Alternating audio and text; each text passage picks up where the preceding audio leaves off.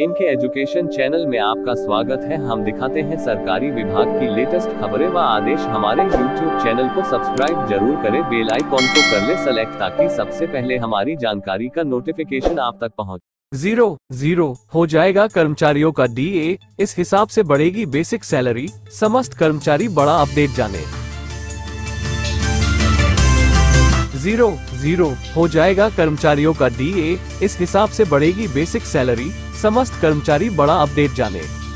देश भर के सरकारी कर्मचारी उम्मीद लगाए बैठे हैं कि इस बार उनके डीए में तगड़ा इजाफा होगा, जिससे सैलरी में भी अच्छी खासी वृद्धि होगी, पर इन कर्मचारियों की उम्मीद टूटती नज़र आ रही है, क्योंकि हाल ही में मिली जानकारी मिली है कि डीए बढ़ने की बजाय ज़ीरो ज़ीरो होने वाला है, पर कर्मचारियों को इससे डरने की ज़रूरत नहीं है, क्योंकि शून्य हो जाने के बाद भी कर्मचारियों की सैलरी इस हिसाब से बढ़ेगी। ऐसी खबरें सामने आ रही थी कि जनवरी 2024 में केंद्रीय कर्मचारियों का महँगाई भत्ता बढ़ाकर 50 फ़ीसदी हो जाएगा। केंद्रीय कर्मचारियों के लिए हर साल दो बार महँगाई भत्ते में इजाफा होता है।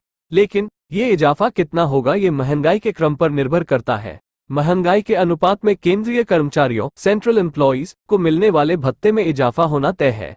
खैर कर्मचारियों के लिए महँगाई भत्ता डीएनएस अलाउंस आने वाले वक्त में खुशखबरी लेकर आ रहा है। उनका महँगाई भत्ता पचास फ़ीसदी होने जा रहा है। आइए जानते हैं कैसे। शून्य यानी शून्य हो जाएगा महँगाई भत्ता। महँगाई भत्ता का एक नियम है। सरकार ने साल 2016 में जब सातवां वेतन आयोग सेवंथ पे कमीशन लागू किया तो उस वक्त महँगाई भत्ते को शून्य कर दिया गया था। नियमों के मुताबिक, महँगाई भत्ता जैसे ही 50 फ़ीसदी तक पहुंचेगा, इसे शून्य कर दिया जाएगा और 50 फ़ीसदी के अनुसार जो पैसा भत्ते के रूप में कर्मचारियों को मिल रहा होगा उसे बेसिक सैलरी बेसिक सैलरी, यानी न्यूनतम सैलरी में जोड़ दिया जाएगा। मान लीजिए किसी कर्मचारी की basic salary basic salary eighteen thousand रुपए है तो उसे पचास फ़ीसदी डीए का नौ हज़ार रुपये मिलेगा। लेकिन पचास फ़ीसदी डीए होने पर इसे बेसिक सैलरी में जोड़कर फिर से महँगाई भत्ता शून्य कर दिया जाएगा। मतलब बेसिक सैलरी का रिवीजन होकर सत्ताईस हज़ार रुपये हो जाएगी। हालाँकि इसके लिए सरकार को फिटमेंट में भी बदलाव करना पड़ सकता है। क्यों शून्य किया जाएगा महँगाई भत्ता? जब भी नया वेतनमान लागू किया जाता है, कर्मचारियों को मिलने वाले डीए को मूल वेतन में जोड़ दिया जाता है।